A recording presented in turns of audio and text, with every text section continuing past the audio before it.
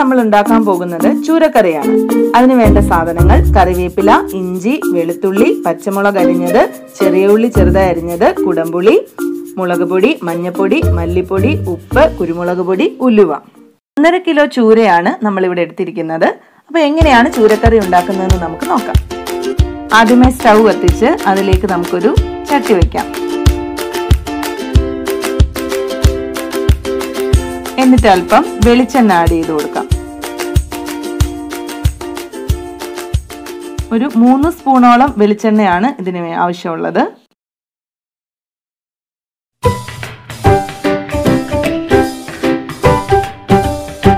വെളിച്ചെണ്ണ ഒന്ന് ചൂടായി വരുമ്പോഴത്തേക്കും ഒരു ടീസ്പൂൺ ഉലുവ നമുക്ക് ചേർത്ത് കൊടുക്കാം.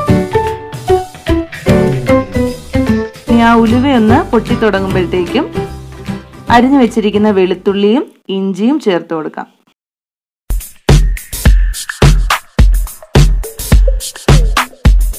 ഇനി ഇത് നന്നായി ഒന്ന് മൂത്ത് വരണം ചെറുതായി ഒന്ന് ഇളക്കി കൊടുക്കാം. ഏകദേശം ഒരു ബ്രൗൺ കളറൊക്കെ ആവുമ്പോഴത്തേക്കും ചെറിയ ഉള്ളി ചെറുതായി അരിഞ്ഞത് ചേർത്ത് കൊടുക്കാം.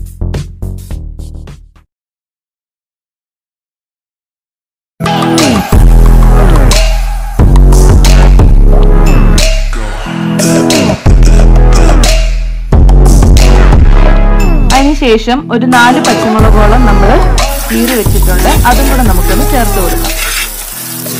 ചെറിയുള്ളിയാണ് ടേസ്റ്റ് കൂടാൻ നല്ലത്. സവോള ചേർത്താലും കുഴപ്പമൊന്നുമില്ല. എങ്കിലും ചൂരക്കറി ആകുമ്പോൾ ഒന്നും കൂടെ രുചി കൂടാൻ വേണ്ടിയിട്ട് ചെറിയുള്ളി ചേർക്കുന്നതാണ് നല്ലത്. അപ്പോൾ ഉള്ളി ഒന്ന് മൂത്ത് വരുമ്പോഴത്തേക്കും കുറച്ച് കറിവേപ്പിലയും കൂടെ നമുക്ക് അതിനകത്തിലേക്കൊന്ന്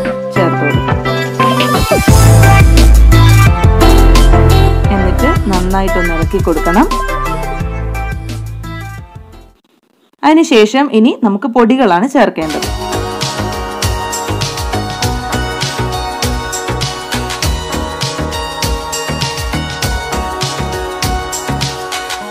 അതിനുവേണ്ടി ഒരു മൂന്ന് നാല് സ്പൂണോളം മുളക് പൊടി ചേർക്കണം. ഓരോരുത്തരുടെ എരിവിനനുസരിച്ച് മുളക് പൊടി കൂട്ടിയും കുറച്ചും നമുക്ക് ചേർത്ത് കൊടുക്കാൻ പറ്റും.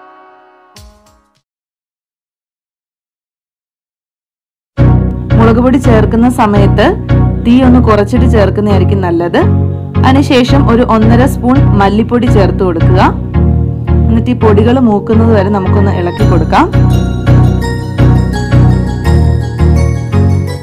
പൊടികളൊന്ന് മൂത്ത് വരുന്നത് വരെ നമുക്കൊന്ന് ഇളക്കി കൊടുക്കാം. ഇപ്പം നല്ലൊരു ബ്രൗണിഷ് കളറിലൊക്കെ വന്നിട്ടുണ്ട് നമ്മുടെ ചൂരക്കറിയുടെ ഗ്രേവി എന്ന് പറയുന്നത്. അതിനുശേഷം നമുക്ക് കുറച്ച് കുരുമുളക് പൊടി ചേർത്ത് കൊടുക്കാം. അതും ഓരോരുത്തരുടെ എരിവിനനുസരിച്ച് നമുക്ക് എത്രയാന്ന് വെച്ചാൽ ചേർത്ത് കൊടുക്കാം. എന്നിട്ട് നന്നായി ഇളക്കുക അതിനുശേഷം പാകത്തിന് വെള്ളവും കൂടെ ചേർത്ത് കൊടുക്കുക. ഗ്രേവി എത്രത്തോളം വേണം അതിനനുസരിച്ച് നമുക്ക് വെള്ളം ചേർത്ത് കൊടുക്കാം. എങ്കിലും ഒരുപാട് ആകാതെ ശ്രദ്ധിക്കുക. അപ്പൊ അതിന്റെ ആ ഒരു ടേസ്റ്റ് മാറിപ്പോകും. എന്നിട്ട് നന്നായി ഒന്ന് ഇളക്കി കൊടുക്കണം.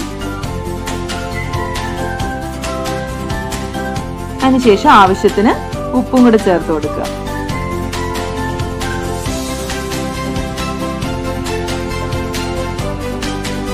പിന്നെ നമ്മൾ കുടംപുളി ചെറുതായി കീറി വെച്ചതുണ്ടായിരുന്നു. അതും കൂടെ ചേർത്ത് കൊടുക്കുക. ഈ കുടംപുളിയൊക്കെ ഇടുമ്പോഴത്തേക്കും മീന് ഒരു പ്രത്യേക രുചി ഉണ്ടാവും അപ്പൊ കുടംപുളിയൊക്കെ ഇട്ട് ചേർത്തതിന് ശേഷം ഇനി ഇതൊന്ന് മൂടി വെക്കാം. ഒരു നല്ല തിള വരുന്നത് വരെ ഇതൊന്ന് മൂടി വെക്കണം. അതിന് ശേഷം നമുക്ക് ചൂര കഷ്ണങ്ങൾ അതിനകത്തിലേക്ക് ആഡ് ചെയ്ത് കൊടുക്കാം. അപ്പോൾ നോക്കിക്കേ നല്ല തിള വന്നിട്ടുണ്ട്. അപ്പോൾ ഇതിനകത്തിലേക്കാണ് ഇനി നമ്മൾ കഴുകി വെച്ചിരിക്കുന്ന ചൂര കഷ്ണങ്ങൾ ചെറിയ ചെറിയ കഷ്ണങ്ങളാക്കി വെച്ചിട്ടുണ്ട്. അത് ഉടയാതെ നമുക്ക് ഈ ഗ്രേവിക്കകത്തിലേക്ക് ചേർത്ത് കൊടുക്കാം.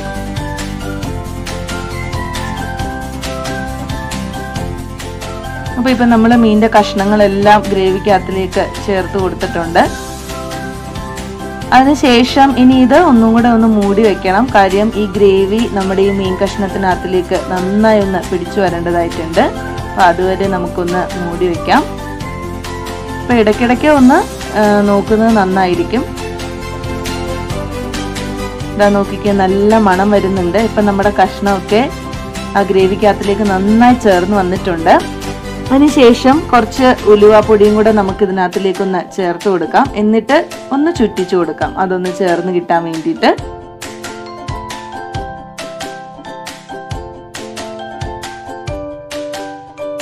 അതിനുശേഷം ഒന്ന് മൂടി വയ്ക്കാം ഒരു മീഡിയം ഫ്ലെയിമിൽ തന്നെയാണ് നമ്മൾ ഇത് മൂടി വെച്ചിരിക്കുന്നത്. അല്ലെങ്കിൽ അടുക്കി പിടിക്കാൻ സാധ്യതയുണ്ട്.